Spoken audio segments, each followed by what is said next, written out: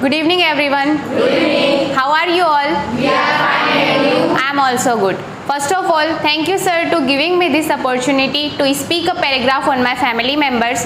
I am Devshri Sakrodia, and according to the sir, today I am gonna speak a paragraph on my family members. Now I will start. I have a nuclear family. There are six members in my family. In my family, I have my mom, my dad, my grandma, and my three elder siblings.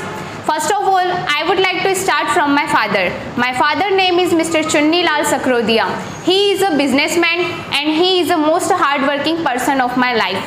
He is the first column of my family.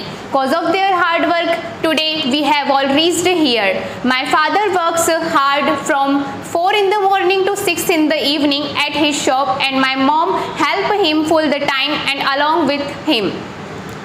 My father is a superhero. The